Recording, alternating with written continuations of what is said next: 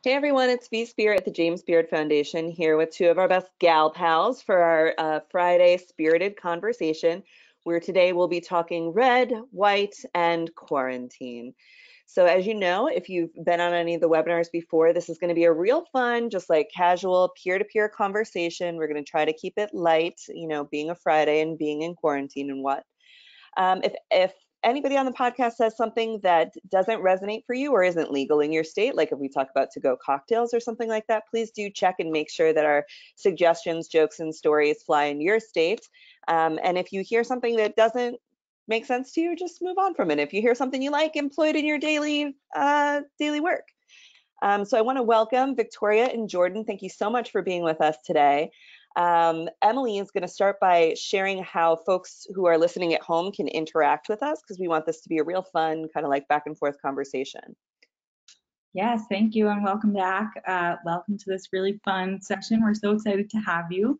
Uh, this webinar, like all of our webinars, is being recorded and we will send that out after this program wraps, um, either sometime today or on Monday. So don't worry if you don't see it, we're, we're for sure sending it. Uh, if you want to catch up on any of our past webinar recordings, you can go to jamesbeard.org slash industry dash support dash webinars. And we can send that link out as well. Uh, we're going to save questions for the end, but just submit them as you have them and we'll send them through and make sure that V gets them to uh, ask to Jordan and Victoria. Uh, and you can do that using the GoToWebinar control panel. And if you're having any kinds of technical difficulties, just send us a message using either the questions function or the chat function, and we will help you troubleshoot that. Thanks. Great. Thanks so much, Emily. So I want to get started for the folks who are tuning in who aren't aware of the amazing accomplishments that you guys have both achieved for being so young. Um, Victoria, maybe start and just tell us a little bit about you, what you've been up to. Yeah, sure. Uh, Hi, everyone. Thanks for tuning in. Uh, so my name is Victoria James. I'm the partner and beverage director here at Cote Korean Steakhouse, which is a Michelin-starred hot pot, hot spot rather, in the Flatiron uh, in Manhattan. And right now we're doing deliveries. So Tuesday through Saturday, uh, 4 to 8.30, uh, I'm packing bags full of wine and steaks. It's sort of like a butcher wine shop to go.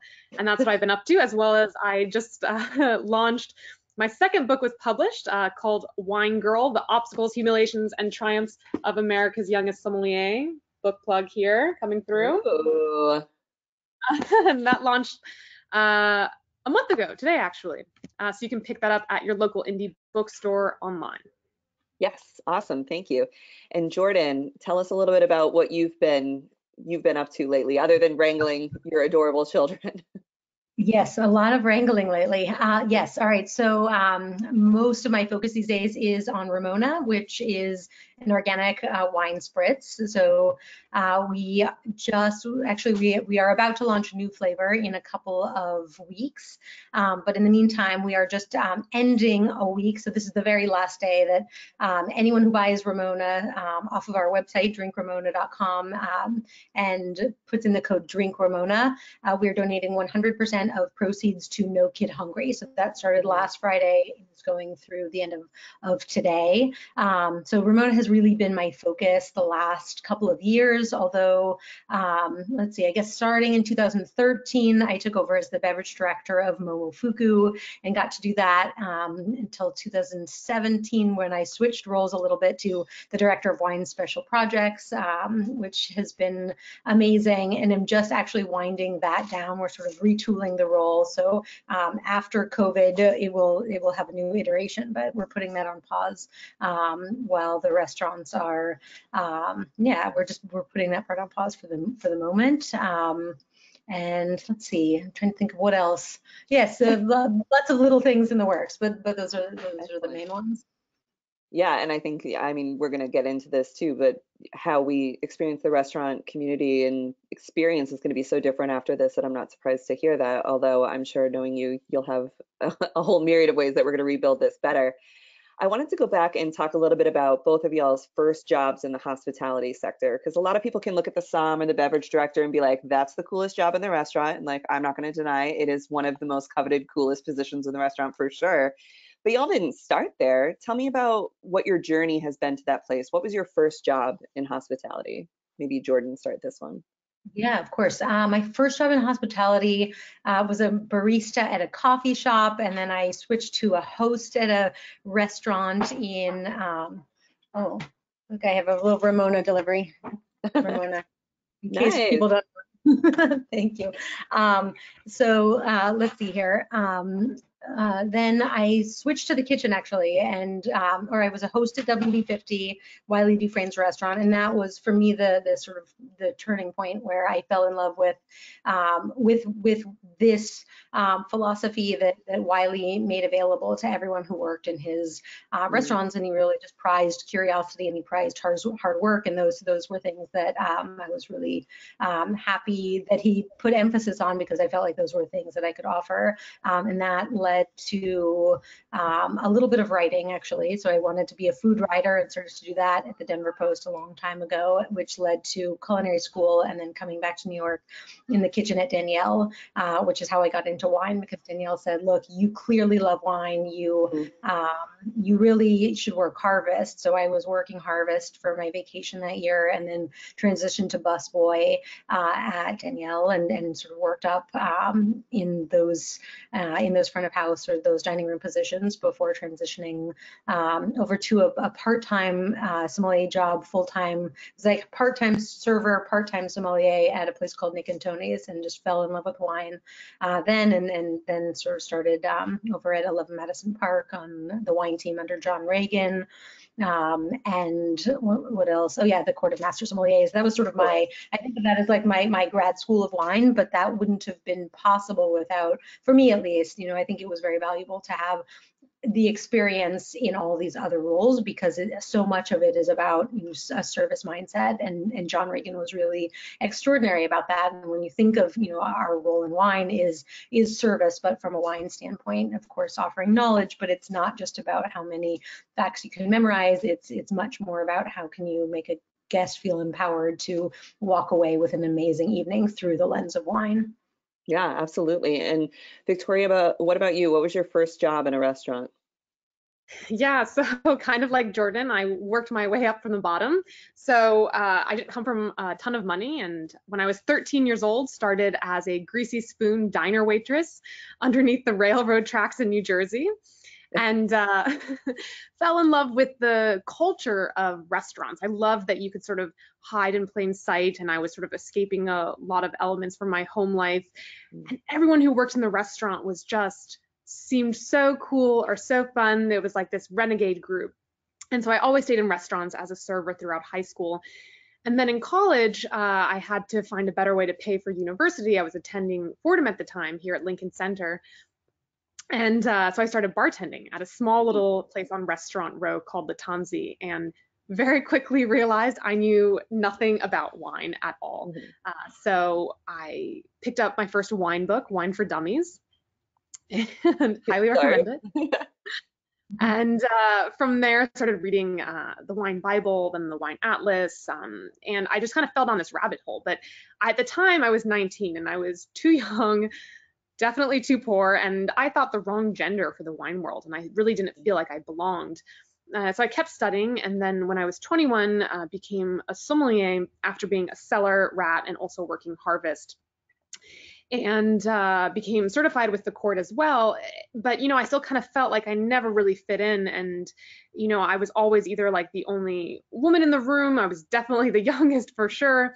And so, Yeah. kind of my mission is to, uh, you know, just like Jordan as well, make the wine world feel less homogenous and more welcome, and sort of dispel this notion of uh, the snobby sommelier. Yes, I think that that's something that we're all trying to do now, right? Like this, the whole glossiness of the industry has really been stripped bare by us being able to put humanity back on the plate and seeing how folks are dealing with things. You know, the shutdown affected everyone. The coronavirus is affecting everyone. It's leveling everybody's, you know, world right now, and how we rebuild it is going to make such a big difference. I know part of what you work on, you know, in your spare time of like all the other things you do, is the Wine Empowered program that helps women and minorities break into the wine field. Tell me about what what triggered you to um, launch that initiative. Yeah, so Wine Empowered is a 501c3 nonprofit that offers tuition-free wine classes to women and minorities in the hospitality industry. And for that very reason, be to kind of have them break into this industry that's notoriously hard to break into and is mm. very much an old boys club. Uh, so I co-founded this organization with two other female sommeliers, Amy Zoe and Cynthia Chang, uh, who are young uh, sommeliers as well that always kind of felt like they never really fit in. Uh, they're especially um, also Chinese as well, and they kind of felt as if not only were they women, but they were also from this minority that was not represented in the wine world. And they faced so much criticism. And so we were like, how do we change this? And the key to that, we believe, is education and to create that safe space. So right now we're on a brief break, uh, but we have a group of 23 students that's part of the inaugural class. And hopefully we'll come back together shortly and uh, they'll be our first graduating class. Excellent. And you can check more out about that at wine-empowered.com um, something that we started to get down the path of and what I've tried to do with the James Beard Foundation and even these webinars, if you've been on them in the past, is take the scary out of the hospitality industry. You know, you hear things like James Beard or sommelier or Michelin star, and you're like, do I belong here? Like, am I going to sound like an idiot? Am I going to pronounce that wrong? Like, what's this person taking my order going to think of me? Or like, what's the person I'm on a date with going to think of me? Or what do I think of me by not knowing anything before I came in this restaurant? When you go up to a table and you're going to be helping a table with wine or a beverage or anything, what's going on in your head as you're approaching that table? Because folks may see you coming and be like, oh my God, this som, they're going to oversell me. I don't have the money for this. What do I do? But what's really going through your head? I think uh, for me at least, you know, the, the thing that sort of um, breaks the ice no matter what in, in any language is a smile. So if you are warm and you approach with a smile, and also eh, this was a, I think it's a Bill Clinton quote actually, but we used to talk about it in pre-service a lot. And it, uh, and Bill Clinton attributed his presidency to listening hard and to actually like if you go in with the intention of listening, both to what words are being used or else to what cues are being given, uh, that is for me, I've always found that is such a, a powerful way to start a conversation uh, because you are going in with the intention of of serving, of making an evening better. Of you know, maybe this guest wants to learn something new about wine, maybe they don't, maybe they know exactly what they want, and they're on a date and they want you to stay away. So you know, picking up on these cues um, and just listening is is always um, I found such a good way of starting the conversation. Yeah, I think that's a great way to put it that you guys are there to listen and really help guide someone through the experience and not to judge them or anything that folks may have had you know preconceived notions on. Victoria, what's going through your head when you're approaching a table? Yeah, uh, as Jordan mentioned as well, uh, just really approaching, you know, with love and humility. Um, one things I think one thing I think is very important is that you know the hospitality world in itself is really uh, you know, it's about love. It's not about logic. Uh, restaurants in themselves are pretty like a, a, silly concept, right? Like if you just needed food, you could go to the grocery store and cook yourself a meal. But it's about building a sense of community um, and coming together and bringing people together through wine. And that's what I love to do as a sommelier. And so I wish that all of my guests and customers uh, would not be so frightened by sommeliers or intimidated and they have good reason to be because historically they were snobby and you know could be quite terrible. Um, but what i really want to do is find you a fabulous bottle of wine and it can be hard because on our list we have 1200 selections. So in 15 seconds i have to determine who you are as a stranger and find you the perfect bottle one out of 1200 so you know, it's the best experience for both guest and sommelier is when we come together both with lots of love and humility and uh, put our heads together and find something that will uh, really make your food taste even better. Yeah, absolutely. A lot of folks out there who work in the wine industry or beverage or restaurant are really having obviously to pivot what they're what they've been doing. You know, our one-on-one guest experience has completely changed. Uh, retail has gone through the roof on products that people are maybe a little bit more willing to try and these restaurants that were so you know sort of inaccessible uh, previously now you can get takeout from them like they're getting in your house they're getting on your table. Jordan what kind of trends have you seen in the retail space and even in like the sort of innovation of getting on people's tables work Sure. I mean, I think, you know, one of, if there is a silver lining, and I don't want to paint it in that direction, but I think, you know, one thing that, that often comes out of, of constraints like this are innovation and ingenuity, and you sort of see this creativity burst in the midst of all these new limitations. Um, I think retailers, I've seen retailers start partnering with food companies to deliver like a fresh farm box with wine.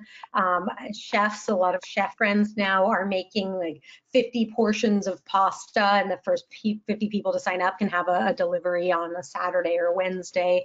I, I see a lot of that happening, but it, it's not something that um, you know makes me smile in any way. I think one thing that you know is, is helpful for consumers, especially wine consumers, is a lot of um, restaurants um, that I know of sent back sort of large orders of wine, and then instead now those distributors are reallocating them to um, to some wine uh, retailers. So a lot of wines that are generally allocated are now not only available but are a better price than normal. So that's that's one thing that um, is a little bit of an upside for for wine lovers out there. Um, but it's it's you know I think it's going to be interesting to see how um, how this changes the way that we interact um, going forward and the way that we that we eat and drink and and share our time with one another. Yeah, and talk just a little bit more on that because I'm not sure that everybody understands that there's um like there are some vintners that only or restaurant only labels their wines you can only buy in the restaurants and now they have the opportunity to potentially be buying those from the retail shop. Um, Yes. How would you know? How would you find that? Like, what would be your Oh my advice goodness. That's a great question. I mean, I think one thing that's always good is if you reach out to your your local retailer. They are busy. I know this from experience, but if you can get them on the phone and say, if, if you happen to know, I mean, of course, Instagram is a good way of, of seeing seeing bottles. But if there's ever been a, a wine that you've loved that you've taken a picture of on a wine app, or that you have a special connection with, or maybe you've just seen it posted a lot, like the Allemand Cornas or uh, Roumier or you know Roulot, Meursault, whatever it might be. I'm naming a bunch of French wines, but there, of course, maybe it's uh, wine company. Um, yeah, it could be a number of things. Whatever it is, if you call your local retailer and say, hey, uh, is there any way I can have some of that, or do you guys have any of that in stock? Um, chances are they can get it right now because a lot of distributors that um, one thing Victoria and I were chatting beforehand, one thing that is, is so worth remembering is like these distributors. one thing we we're talking about is like, do you drink local? Drink local, but also drink imported because all of your local favorite uh, distributors and importers are about to suffer a massive tariff tax that we stopped talking about because COVID happened. But you know, Mm. drink the more wine you can drink. Um, it's it's enjoyable, but it's also a nice way of, of supporting uh, your local businesses uh, all along the food chain. Yeah, absolutely. And Victoria, for the 1,200 bottles that you have in house right now, potentially, um, what, what are restaurants doing to secure that asset? You know, if you have these special vintages or these very high priced wines, and now you're sort of facing all of these issues with cash management and payroll and all of this stuff, like what can folks be doing to protect that asset? Yeah, I mean, every restaurant is different right now during this crisis. So, you know, I can speak for us here at Cote. What we're doing is if you go on our website, cotenyc.com, uh, you can purchase anything off our wine list for 25% off. Wow. Um, and already pretty low markups. You know, a lot of our markups were close to retail, especially for a lot of like grower champagne. So you know, instead of, um, you know, I, I, think there's a way to also support restaurants by buying your favorite wines. And there's some cool ones, as Jordan mentioned, that maybe before you weren't able to find. Uh, so, you know, you can definitely do that. And any restaurant that is open right now, uh, like Cote, um, you can support by ordering delivery, both food and cocktails and wine. And it's a really great way um, to directly support the community. Uh, here at Cote, our owner Simon Kim is sending weekly stipends to all of the team members, even the ones we had to lay off. And so, uh, you know, every single purchase goes directly towards keeping our restaurant afloat. Uh, it's really important. Yeah, absolutely. Um, we've been doing these webinars for a couple weeks now, and everyone it's come to a point where no matter whether we were talking to lawyers or the journalists or the wine folks or the beer folks, everyone is saying that there's such a strong eye on how companies are responding right now and what they're mm-hmm. doing and just being honest about what they're doing. If you had to furlough your employees, being honest about why and what you're doing for the community. If you can't be one of the places that pops up as a relief kitchen, you know, just like how you're doing, what's going on in your life. And Jordan, you have a great quote how you do anything is how you do everything. How Mhm. important is that, especially right now? Oh my gosh. I mean, I think it's it's such a helpful way to live life. You know, if you because there are going to be days where it's easy to do, you know, to be on your game, and then there are going to be days that it's a lot harder. Um, and I think you just remember, right? You know, every step you take, um, everything you do, make sure that you're doing it with pride and with intention and that is an important it's just a habit that i've held you know that i that i really try to adhere to and that i've found helpful throughout my career um, in the phases of my career that have been harder and also you know the ones that are maybe more enjoyable. But it's it's it's hard. We're we're in some crazy crazy crazy times and i think you know um, trying to to stick to for me it's also like a way of sort of of grounding. It's almost like a, a, a meditation mantra where it's like okay be present whatever you're doing you know do it well and care and really give yourself uh, give your all to to whatever it is that you're doing in that day. Um, and and that and that matters. Uh, i think that that really matters Yeah, people are noticing. I know here at Beard, we have our, you know, three times a week meetings on what's going on. And uh, a couple of weeks ago, Clare's two-year, uh, Clare, our CEO's two-year-old daughter, wandered into the Zoom, and we were like, Sasha, what advice do you have for us? And she was wearing a full Elsa gown, and she was like, just do the next right thing. Just do the next right thing, which I guess is like from Frozen 2. And I have like held on to that. I'm like, I I work so with much. that. You know, You know, I, I I have a Frozen story too. So Henry is four, and Henry, we just now we've made Fridays are now movie nights. It's family movie night, and Yeah. we did Frozen, and then we did Frozen two. Anyway, it's so fun because we were so he we do like we build in an hour and a day, a day of Henry Mama time, and he wants to usually play some sort of element of pretend. And lately, he wants to play Frozen. So uh, there's like a closet, and he pretends that those are the gates of Arendelle, and so we like have to play in this closet. But he always gets to be Elsa, and then he decides who else I am. But I just love that. I, you know, I, as we as we are speaking about the hospitality industry and, and being women in, in as part of this community, I love and good for Disney to sort of give children some amazing female heroines where like my four-year-old son wants to be Elsa and I get to be like the snowman. I know. I feel like we're going to have like a crop of amazing humans in 10, 15 years who like learned from Elsa to do the next good thing and like that's Yes, going to yes. be theirs. Because like I grew up in the 90s with Mulan and all I heard was like, be a man. And like then I got this haircut. No, totally different story. Totally, we're off topic. Oh my gosh. You know, uh, Mhm. but what what's keeping you going, Victoria? Do you have a mantra or, or a song that you're hitting hard right now? Yeah, I think that, um, and this is a quote actually that uh, a mutual friend of Jordan and I's always uh, uses, Raj Parr. Uh, it's a Gandhi quote, and it's, um, you know, to find yourself by losing yourself in the service of others. Mm, And for me, that's always been my mantra in life. Uh, service is what drives me. Um, it's what you know lights my fire. And to have our restaurant empty, except for a bunch of to-go containers, it can be really disheartening. And so for me, what keeps me going is is connecting uh, with our guests still uh, fabulous webinar webinars like this, but also through um, social media and uh, you know encouraging our guests to share their dining experience also online and uh, i think that right now can be a scary time for so many people and the more that we can keep that sense of community alive uh, is what's so important to me Yeah, absolutely. And, you know, we've touched on it a couple times now that women have made such strides in the last several years towards equity, parity, respect, environments, like what our non-negotiables are going to be, all of this kind of stuff. And then as this is going on, you know, you you do see from a lot of the heads or the folks that are getting us seated at the table or the people who are out there with the loudest voice, it, it is sort of gearing back towards men. How do we keep the strides that we made in parity and keep our voice heard when you know the organizations with power right now aren't other than James Beard Foundation aren't really women headed like what can we be doing to keep our keep our place? What good questions. I think keeping the conversation going, I think that's such a key part of it. And I think, you know, the fact that the conversation has started and it's on people's mind and it's on people's tongues and the beauty of of quarantine and in the age of smartphones is that everyone is part of the conversation even while we're physically apart. Mhm. Exhibit Absolutely. A conversation here. Thank- I actually I book the webinars and I like the other day I was like, oh, I've only had four men in five weeks. I should really like get. I, 'cause Right. I'm the head of women's programs. I'm like, all I know are women. It's, It's pretty incredible. yeah.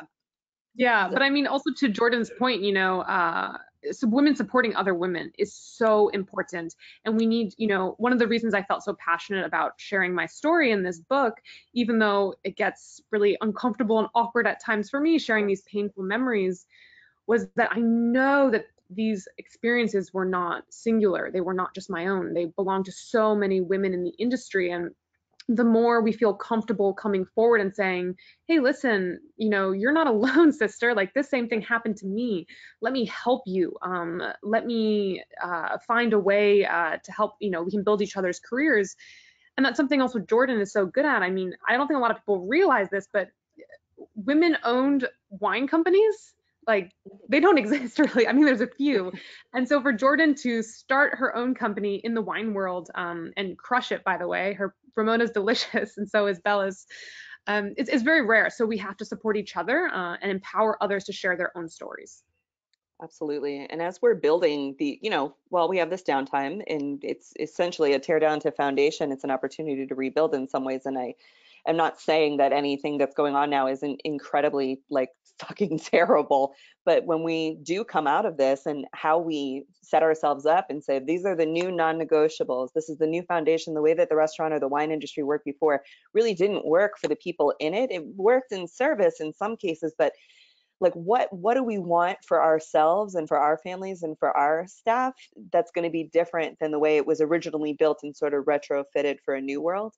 um, what do you all think uh, in terms of positive things that we'll be building better uh, over the next couple of months Yeah, I mean, just sort of uh, right off the cuff, I think of ownership, right? Like, and Victoria's a partner at Cote. When you, when we see different voices as part of, as either the, as part of the leadership structure with actual ownership, I think that matters. I mean, that's one of the reasons why Ramona exists is because I, I get to set the culture there, and it, and you know, and that I think matters a lot. And so, you know, Victoria is a partner at Cote. I am the owner of Ramona, we get to then define what matters. There was an amazing article, I think it was Forbes, and it was talking about, um, it was a, it was a, hey, how very interesting. Look, the five countries with the best response to the Mm. Coronavirus happened to be led by women. Um, Mhm. And you know, there was Denmark, there was Iceland, uh, there were a few, uh, there was New Zealand, um, and th- they said, you know, maybe you're thinking, well, sure, because these are smaller countries, but Germany, Germany, right off the bat, there was transparency, there was, you know, this this very different approach um, instead of sort of hiding behind um, numbers that were hopeful but not necessarily the reality. And, and so I, I thought that was interesting, but it ended with um, this one example of one of the leaders leading press conferences where no adults were allowed. It was only children. And so the press Hmm. conference was only for children, uh, and children were able to ask whatever questions were on their mind. And uh, Victoria, you were mentioning love, and it was just this, the, her answers were so full of love and so honest. And it was just this sort of completely different approach that, that would never happen in, uh, you know, in any country that, that I've ever, um, that I've ever heard of before. And so just sort of the opportunity for ingenuity to, uh, to come out when we have new voices in charge in, Yeah. in real power positions instead of in um, sort of trophy trophy power positions or positions that, that sort of are on a pedestal but but without um, without real uh, potential to impact change. yeah what about Yeah, you and I- victoria I think that, you know, with this pandemic, I mean, it creates so much empathy. And uh, as you mentioned earlier, V, like we're all in this together. Uh, everyone is affected in the whole world. Um, and so after this, I do expect that you know, a lot of things will change, especially in regards to health and how Mm. important that is. I know growing up in restaurants, I remember even one boss told me, like, you come to work unless you're missing a limb. Like, yeah, that's it. You don't call out sick. Like, that's just not something you do. That was not part of the culture. And if you would, you know, there'd be repercussions. And I think after this pandemic, uh, everyone will uh, have to have a certain level of empathy. It'll be key to running a good and successful business. And hopefully, the restaurant world will have a lot of support from amazing organizations like this and also the government uh, in order to provide those things for our employees, uh, like healthcare. Yeah, absolutely. Um, you know, a lot of folks that we've been hearing from over the past couple weeks, one of the key things that we hear over and over and over is I thought I was safer working for a big company, or I thought I was safer, I was more untouchable because I had all this tenure, all this education, and I was with a big company or I was a successful restaurant. And what we're seeing is, you know, it didn't make a difference. It sort of came for everyone equally, whether you were the most educated or the, been there the longest or um, and a lot of that is why people don't start their own business, right? They're afraid of failure. They're afraid that they won't have sort of the protections of the company. Um, what would your advice be to folks who are now taking this moment to say, why not me? I I'm, think I'm gonna be ready to start my own business after this. A, a phrase that's always stuck in my head uh, that was certainly present when I started Ramona is start before you're ready. Um, so start before you're ready. Um, no one, there's never a perfect moment. I can now say that as a mom. Um, I, I was not ready to have children and I when I learned I was pregnant, I was it was too soon. I wasn't ready. I, had to do these other things first, and there's no, there's no perfect time. It, it, the timing is perfect when you decide when you decide that that you're ready, or when you know. I, I guess for me, I, I, like sort of paying attention to these these little signs from the universe, and um, and you know this is a change agent. We are in a moment of change, and and um, I think it's always helpful if you can sort of make that uh, make that work for you. You know, if you can, we're it, it's crazy for everyone. The world is upside down, and uh, this there's sort of no no better time than to uh, than to put a foot forward. And and if there's something that you've been wanting to do or thinking about doing for a, a while do it. Now now everyone's stuck at home and uh and and go for it. This is a there's no better time than than the present. Yeah um, Victoria, what would you say to folks out there who have a resume that's just full of serving and bartending and maybe they've never had another job before and, and they're looking to get completely out of the industry just for the sake of this? So they're, they're not going to work in a traditional restaurant experience. One, maybe there's not going to be that job available to them. And two, maybe they're ready to sort of move in and give something else a try. How would you write a resume um, that's full of service experience to appeal to a job that's not in the restaurant industry? Yeah, I mean, uh, you know, outside of the restaurants, I've worked before in retail, and of course, I've done a fair bit of writing, so I can speak to those experiences. The best thing to do whenever you're entering a new field or a new, you know, arm or leg of a new field is to really enter with humility and want to learn as much as possible. And so if you want to work retail or you want to work on the distribution side or you want to go get into writing uh, really figure out who the key players are uh, and figure out a way to work your way up from the bottom again you know? Um, i think that uh, a lot of people have asked me uh, how do you get into writing uh, writing about wine or um, writing nonfiction from this restaurant career? Uh, well you don't just like pitch an idea for a book and then get a book deal. That's not the way it works, you know. Uh, you know, this my second book, Wine Girl, it took me five years to write, and I had to have a completed manuscript, 100% done, before even shopping it to publishers through my agent. So, you know, it's not as if when this pandemic is over, uh, this like these magical opportunities will present themselves. But I think if anyone wants to do something different, something that brings them joy and purpose, they can absolutely do it. Um, they just have to work really hard. Um, and there's so many opportunities in wine, not just restaurants.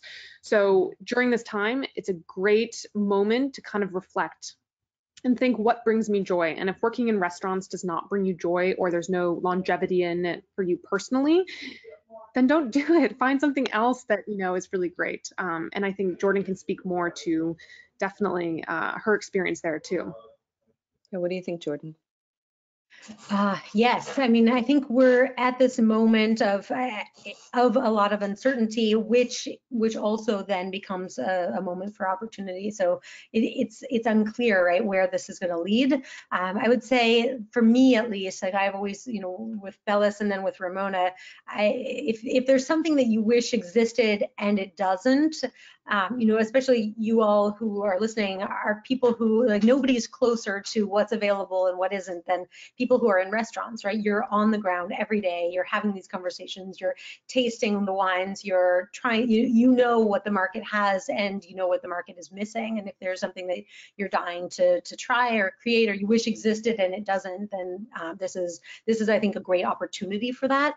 Um, and I mean, to the point of sort of uh, anyone who's looking to to transition out. I, I think you know Victoria makes a, a, really great point. If if there's a story that you that you want to tell, I mean, this is I mean, I, I don't write as much these days, but when I did, the way it started was you write a writing sample and you send it to a few places, and a lot of people say no, and somebody says yes, and then and then you build on that.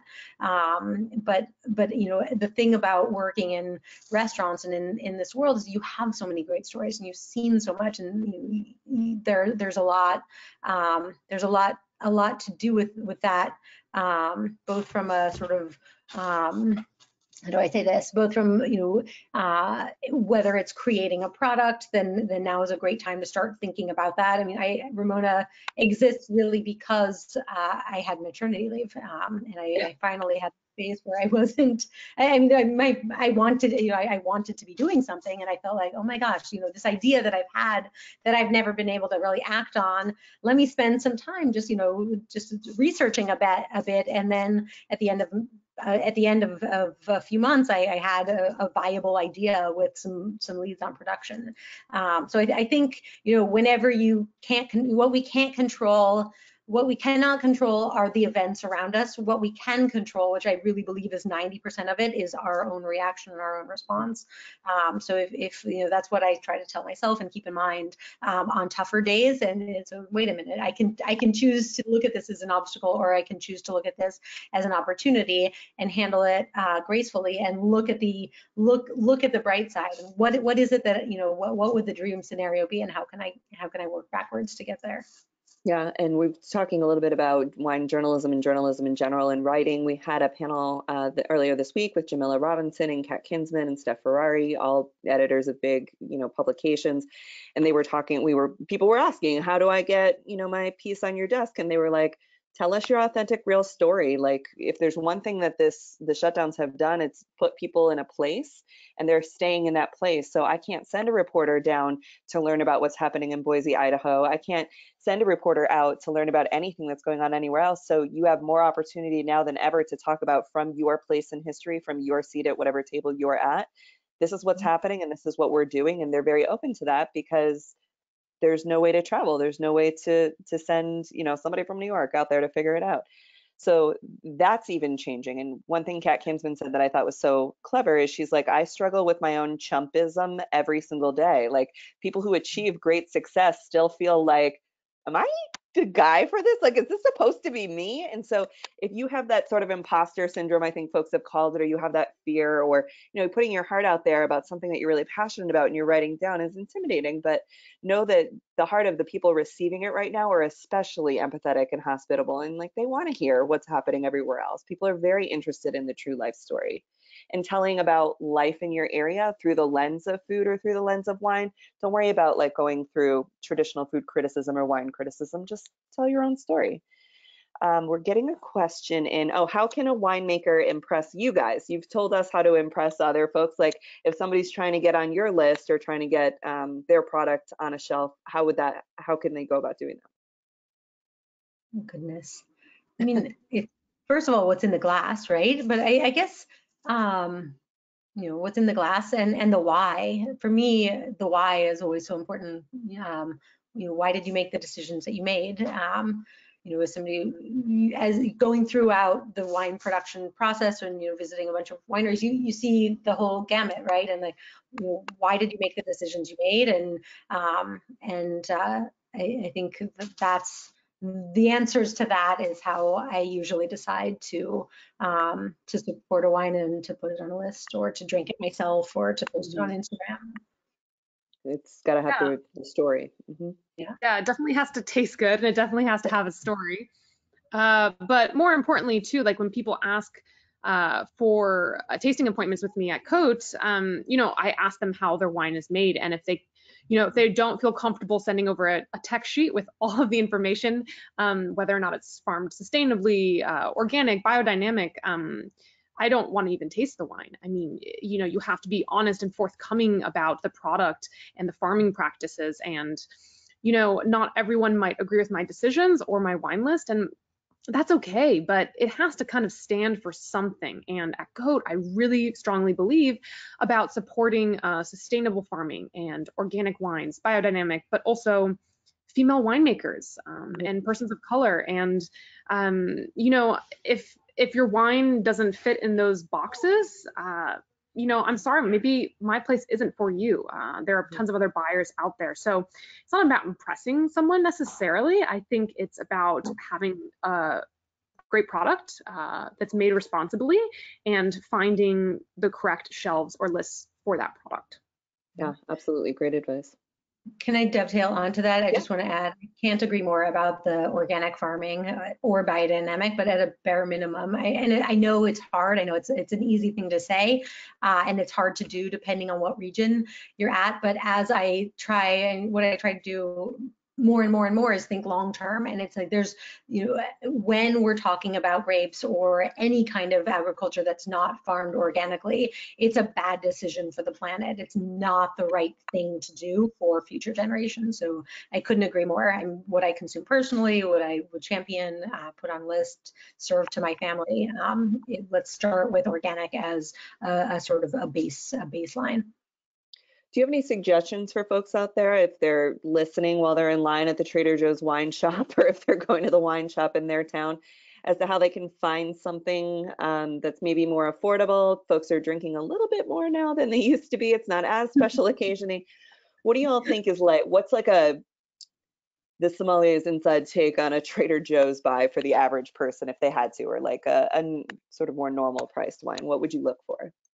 I Yeah. um I mean I would say that you know now during quarantine especially we're in a really great situation where you can order things online and I know that the state liquor rules are very strange so some places don't ship to some places but in most states you can find incredible wine from retailers Jordan and I were talking earlier like Parcelle like Verve Wine Convive Flatiron Chambers Street uh, Kermit Lynch in California which Mm. disclaimer my husband works for And I love. um, so yeah so i mean you know there are so many great opportunities you don't even have to leave your house um, and they'll ship right to you and the most important thing honestly is finding a retailer you trust who can do that homework for you and you don't have to worry about being the expert in the scenario i mean when i need advice about music or art I certainly don't take it upon myself.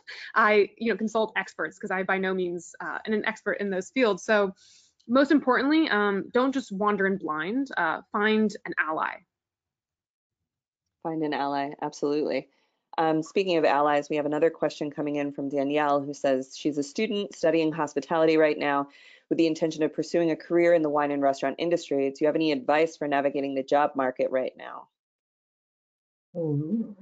Mm, I don't know that there's much action in the job market right now. I would Yeah. say work, on- I mean, no company I know is hiring because everyone's sort of trying to to land right now and figure out, you know, what their game plan is once once things start to open up again. But I would say, you know, use this time um, if you can to really get clarity on what your dream situation looks like and have, you know, you know, sort of if you know that and, maybe spend time, time meditating on that a little bit and thinking about what what really is the dream scenario. Um, is it retail? Is it with an importer? Is it on the floor of a restaurant? You think about that and really get your resume in a great spot for that, um, and maybe think about sort of a few avenues that would work for you.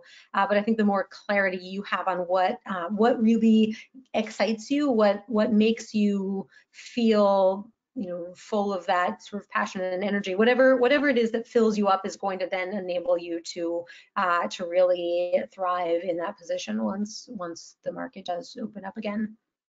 Yeah. yeah, and I and I know that there are some retail wine shops that are quite busy and are looking for part-time help right now. Um, it's not, you know, going, you're not going to walk in there and get like a six figure salary. You know, you're going to be really kind of scraping by, but it's a great learning opportunity. So I would say walk into your local wine shop and say, I'm interested in wine. I know you guys are busy right now. How can I help literally bringing bottles from the shop to people um, on my bike? so, uh, you know, there is, if people want it, there is a hustle in there. Uh, it might not be super glamorous, but uh, there's there's opportunity. Can you all talk a little bit about what working harvest is like and how somebody might apply to work harvest? Sure. Um, all right. Well, I've worked, I think, 12 harvests at this point, uh, and they're all different. But I, I, would say I got to work. Uh, most of them have been in France, um, and it started uh, it started because I was willing to Victoria's point about hustling. Um, you know, if you're willing to just do whatever the work is and and and do the hard work, and it's going to be backbreaking, and and that doesn't matter. So be prepared for that and go in um, with the intention of you know doing a great job. I think that that was useful for me in sort of getting in the door in uh, my first harvest, and then that led to other opportunities because a lot of winemakers are friends, and you you, you do one harvest in one village, and then the the next, you know, your dream winery in the next village is willing to take you on the next year, kind of thing. Um, I think it's harder now with visas, and that I, I recently heard actually from a winemaker in the Rhone Valley that no one in the U.S. is allowed in France until June think it's or July. It's it's either June or July. Um, but anyway, we're sort of off limits in Europe right now. Um, so I would say, you know, in in the U.S. Uh, that might be a good place to start, especially if you work in the restaurant world. Then, then chances are you've had a great bottle of wine that you love that maybe you want to work harvest in the far, first place, or maybe you you know a winemaker or two. Um, you, the first harvest I worked, I, I actually was hoping that I was going to work at this other winery, and they said no, we we we choose our stagiaires two years in advance, but ask my friend. And that mm. was how my my first harvest happened. So sort of have a game plan, but be willing to pivot mm. um, and and reach out. I mean. Uh, I think this is a great time to reach out to a few of your favorite spots and um, and and see what they say and be willing to yeah. i mean whatever you can offer like come from a place of i guess service is, is what we've been talking about all day but um, when you when you come in with the intention of, of helping um, of course you're going to learn as well but but really make sure you're presenting it in a way that uh, the, the winery knows that you you are looking to help and add as much value uh, to their incredibly stressful harvest as you possibly can. Absolutely. Victoria what about you? Notes on harvest yeah, um, definitely agree with Jordan on all points there. Uh, I think a lot of uh, young people interested in wine ask me, "Oh, I want to work harvest. I want to work harvest at like, you know, DRC or like they name these crazy names." And you're like, "Okay, well, probably not. Um, I, my first harvest experience was at a garage, literally in a garage winery. And until you build up that experience and you can show people, you know, here are my references. I worked at this one place harvest and I wasn't just a pest and, and, and in the way and asking, you know, um, thing, asking questions, but not with any follow through. Uh, you need a stable reference uh, because it is helpful to have an extra set of hands, but sometimes it can be also quite hurtful and it's a high stress situation. Wine can only be made once a year, and this is the you know the winemaker's only source of income. So it's a lot of pressure, uh, and just to take an outsider in uh, can be uh, a lot riding on that. So work anywhere that will take you the first time. Uh, you know, walk into a retail wine shop, have a sommelier friend uh, set that up for you, and then from there you can kind of build your experience. Yeah, excellent advice. Um, that's oh, we have one more. Uh, one Oh, it's my question. What's on your playlist? what are you guys listening to right now? What what TV shows are you escaping to? What podcasts are you listening to? Like, how else are you filling your day when not, um, you know, winding it up? Oh my goodness. Um, I don't have the most innovative answer here. I've, I've been listening to a lot of Frozen because Henry is really into it. So Yes. we, we have a lot of Frozen on our playlist. A lot of, actually DJ D Nice, a lot of DJ D Nice. Oh yeah. And those are pretty awesome. So if it's not Frozen, it's it's usually uh, hip hop, which my husband loves, and that's sort of the only thing allowed when he's in the room. Um, podcasts. I mean, the, I love the I'll Drink to That podcast that Levi Dalton does. Um, I love Marie Forleo whenever I'm sort of feeling like I need I need some wind in my sails. I think she's an amazing resource. And she just has, you know, sometimes they're four minutes, sometimes they're 45 minutes, and she has everyone from yeah, it's more business related. So if you sort of are a business, but also I mean entrepreneurial and entrepreneurial, she just has great life advice. Um, yeah, her her motto is everything is figure outable, which uh, I like to keep in my head as well. Excellent, Jordan. You're doing you're doing the most. I am uh, watching 90 Day Fiance and like the Tiger King and wasting my life away when I'm not planning for these webinars and like fighting the Congress for like the rights of restaurants. for putting these webinars together. They're really, I should, I should, I should add that. I didn't add that because here we all are on it, but I, I love what, and you guys have been so active and so powerful during this time, really from the get-go. Um, and thank you for all. Decline, sorry. Problem with. phones. Victoria, what are you listening to? How are you wasting your your precious time from time to time? Uh, well, being at the restaurant for long days and nights is keeping me busy. Yeah. Uh, but in my uh, free time, uh, what brings me joy is reading and writing. So I'm reading a lot. Um, I just read this book called Hidden Valley Road, which was amazing, uh, which is nonfiction. I um, am reading Stephanie Danler's new book, Stray, which is memoir, and uh, writing, working on a third book. So we'll see. very casual, taking a very tip. Anyone who's also looking to, I've, I've taken up sourdough bread baking, which is like a nice sort of thing to do with your hands. Um, and a tip is if anyone else is doing that and or wants to, Jennifer Latham is the head of bread at Tartine, um, and she does these Instagram tutorials, like a nine-step process of you know start with your starter and then all the way through country bread. So um, it's super approachable, super easy. She does it like with her children who are these adorable three-year-old twins. So if anyone is looking to learn sourdough bread baking, Jennifer Latham is a great resource. I love that. Excellent shout out. Women shouting out women. Love it. Love it. Well, I want to thank you both so much for being here with us today and for sharing your journey, your story, your truth, and just giving us an hour to relax and listen to someone else and be in someone else's shoes for a little while. So I appreciate you so much um, joining us. Y'all can find us. We're going to do one more week of webinars for sure every day, and then we'll see what happens. Um, you can find next year, next year, next week's webinars at jamesbeard.org/relief. On Monday, we have Ecolab and the ACF coming in to talk about upgraded sanitation. Spoiler alert, they're also giving away a code to take their 30 hour food safety and sanitation course for free. So you're going to want to join that. Um, we've got Carrie Diamond and Nace. We're going to be talking about off premise events and how successful she was able to make Jubilee, which, which was exciting. We have MoFad. Um, we, we have a great lineup for next week, and I'm just so excited that, um, that y'all are keep joining us and uh, give us this time. We've got Chellie Pingree and we've got the Lee Initiative, who is like my new best friend, me and Lindsey Ofcacek, just like crushing it, trying to feed all the people in the world, right? They're doing incredible work. So check those organizations out. We hope to see y'all next week. Victoria and Jordan, thank you again so, so much for being here. Emily, thank you for running the tech from behind the scenes. I would literally die without you. Thank you, Um, and we'll Emily. see y'all next week. Have a great weekend.